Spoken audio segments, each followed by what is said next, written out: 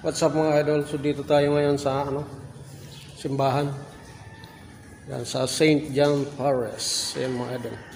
St. John Paris. Told me that it's gold free.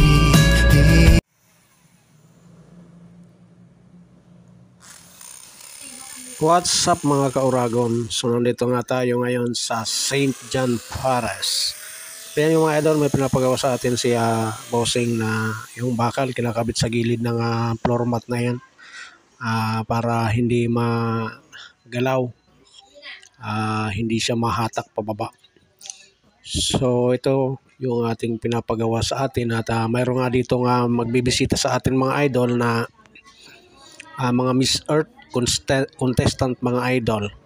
So yan yung mga idol yung ating ginawa na dito sa ating ah, St. John Paris. Ah, ito po ang aking may sponsor at ay kay Father ah, Francis ah, Sigara. At maraming salamat po sa pag-sponsor sa ating page. At abangan na lang po ninyo kung kailan natin uh, ma-cover yung ah, ah, mga Miss Earth na yan.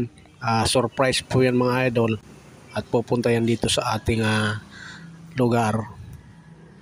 Yan ang mga idol, papakita ko sa inyo yung ah, loob nitong ating ah, Saint Bian Pra- Paris mga idol.